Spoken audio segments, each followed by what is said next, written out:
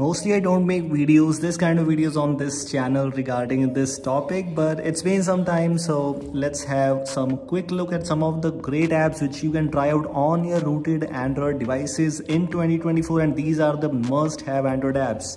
First one in this list is Leandroid. I've shared these kind of apps with you on my other channel already, but if you are not into that channel and you only need English content, then this is here for you. Leandroid basically helps you to actually gain a lot of battery backup from your device. What this does, as you can see, the things are quite clear. Whenever your device, whenever you lock your device, the things will be turned off like Wi-Fi, cellular data, whichever you will choose 10 minutes after the screen off of course and after simply whenever you unlock your device for the first time and else things will be restored back and it also gives you the things like it also gives you the flexibility that if you don't use your device for a long time it will remove the addiction. This is actually quite useful in most of the cases and you are definitely going to love this thing and these things will work only with root. So make sure you have rooted your device and then you can try out Leandroid and this app is actually free. For some of the things you need paid version but most of the things are absolutely free. So don't miss it. Check this app right now. Link is already there in the description. Install and check this Second one which is in our list is data backup. I've shared this app recently with you on my other channel and I also compared it with Swift backup in case you don't know you can check out the video there. What this does is like if you're a custom ROM user you change custom ROMs frequently, you need to take a backup of the apps including data. Then data backup is a great choice for you. There are some disadvantages right now like it is not available on the Google Play Store so you need an APK file for that. But some great advantages are also here like it the speed of this app is quite good. It's an open source Android app, no ads, cloud support except Google Drive. Some useful cloud support options are already there and yes you don't need any kind of premium premium subscription for this and things are looking super good. So don't miss it. This is actually one of the best rooted android apps. Make sure to check it out. As i just mentioned it's totally free for now while making this video and i'm hoping that in future it will never be paid. So yes you can go and check it out. It also brings you a lot of options to configure in backup settings and restore settings which is a great alternative of swift backup if you just want to try out something different here Next one in this list is regarding GApps flags or you can say GMS flags. What this does, this is basically regarding if you want to enable some hidden unreleased features in a Google Apps. You can join the Telegram channel if you need more flags by the way. I will provide you the link in the description for their support channel in Telegram.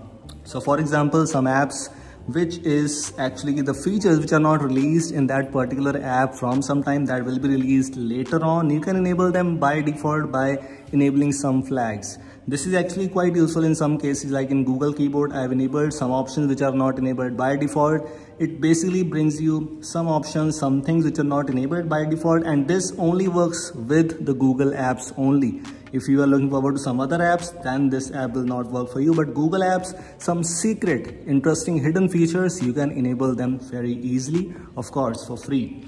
The next one in this list is saturation. Unfortunately, this app is not available on Google Play Store. It was there previously, but now it's removed. I'm not exactly sure about the reason, but to be very honest, the app is actually good. And you can install the APK link is there in the description you can simply change the colors of your display and this is quite underrated. Like in some of the custom ROMs basically i found that the screen colors are not that vibrant that sharp colors are not there. But you can simply change that by just installing this android app and no extra settings to configure. Install this android app and do these kind of configurations 1.00 is the default one. You can decrease it and you can increase it. It's totally up to you. But make sure to change the colors if you want to uninstall this app. Make sure to revert back to the default one in case any issue occurs. Last but not the least this was also quite popular once a days and this is fkm franco kernel manager let me tell you one thing the app is not free available on the google play store. It's paid but it's quite worthy even right now in 2024 you can also try it out especially if you're using custom kernel then this app could be a great choice for you you can configure a lot of things in a device because if you use a custom kernel that doesn't mean that i mean if you install a custom kernel you actually want to customize that. You want to explore some features. Even in some custom kernels there are some useful features included. And how you can explore them how you can test them for that you need a kernel manager.